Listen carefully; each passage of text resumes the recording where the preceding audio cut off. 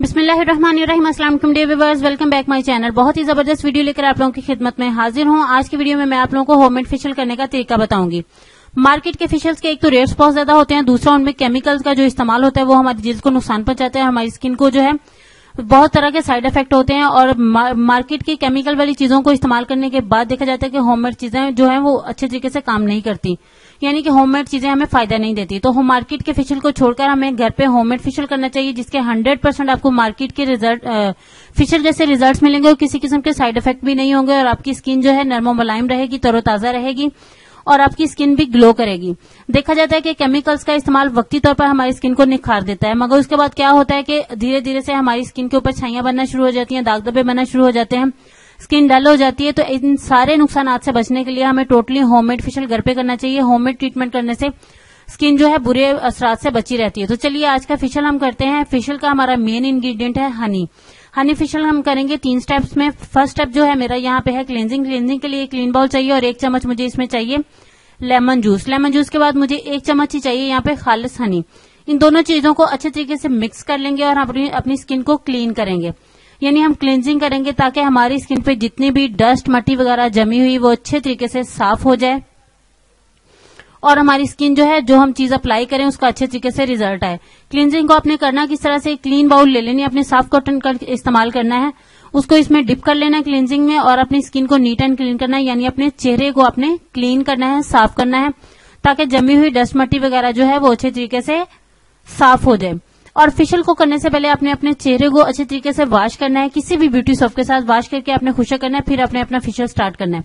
तो यहाँ पे क्लिनजिंग को तीन चार मिनट करने के बाद आपने सेकंड स्टेप करना है स्क्रबिंग स्क्रबिंग के लिए यहाँ मुझे एक चम्मच जो है चावल का आटा मैंने शामिल किया, उसमें एक चम्मच ही मैंने शहद का इस्तेमाल किया खालिश शहद का इस्तेमाल करें ताकि आपको हंड्रेड परसेंट रिज़ल्ट मिले। और इसके बाद आपने क्या करना है कि आधा चम्मच लेमन जूस इसमें शामिल कर देना है। इन तीनों चीज़ों को अच्छे तरीके से आपने मिक्स कर लेना है। मिक्स करके आप देखेंगे अगर आपको यहाँ पे स्क्रबिंग का जो मटेरियल आप तैयार कर रहे हैं, अगर थोड़ा सा गाढ़ा लगता है तो आपने क्या करना है कि इसमें लेमन जूस की मिकदार बढ़ा देनी है। जैसे मैंने थोड़ा सा, यानी आधा चम्मच लेमन जूस मैंने और इसमें शामिल किया और मेरी स्क्रबिंग यहाँ पे तैयार हो गई है। और आपने क्या करना है, अपनी स्किन यानी फेस पे स्क्रबिंग करनी है अच्छे तरीके से। चार मिनट ही क्लींजिंग करनी है और चार मिनट ही आपने अपनी फेस को स्क्रब करना है। तो अच्छे तरीके से स्क्रब करने का हमारा मकसद ये होता है कि मसामों में जितनी भी मैल कुचार डस्ट वगैरह जमी हुई, वो अच्छे तरीके से बाहर निकल आए और मसाम जो है अंदर से साफ़ सुथरे हो जाए ताकि हम कोई भी पैक अप्लाई करें तो वो हमें हंड्रेड परसेंट रिज़ल्ट दे। क्लींजिंग हमेशा डस्ट मट्टी को साफ़ करती है और स्क्रबिंग जो है मसामों में से मैल कुचल को निकालती है। लास्ट और थर्ड स्टेप है हमारा, यहाँ पे व्हाइटनिंग फेस पैक बनाना है। मुझे एक चम्मच यहाँ पे खुशक दूध चाहिए जो मैंने इसमें शामिल कर दिया है। और आधा चम्मच है बादाम का खालिश तेल चाहिए। अगर आपके पास बादाम का तेल नहीं है तो ऑलिव ऑयल यानी जैतून का तेल भी इस्तेमाल कर सकते हैं। और एक चम्मच इसमें हमने खाली शहद का शामिल करना है। खाली शहद शामिल करने के बाद आपने इसमें एक चम्मच भर के जो है लेमन जूस का इसमें शामिल कर लेना है। चार चीज़ें होगी, यहाँ पे हमारी इन चारों को अच्छे तरीके से मिक्स कर लेना है। अव्वल तो इसमें कोई और चीज़ शामिल करने की ज़रूरत नहीं है, यानी इसका, इसको पैक को पेस्ट वगैरह बनाने के लिए कोई और चीज़ आपको शामिल करने की ज़रूरत नहीं है। इनके ज़रूरत पड़े तो आपने इसमें क्या करना है कि रोज वाटर शामिल कर लेना है।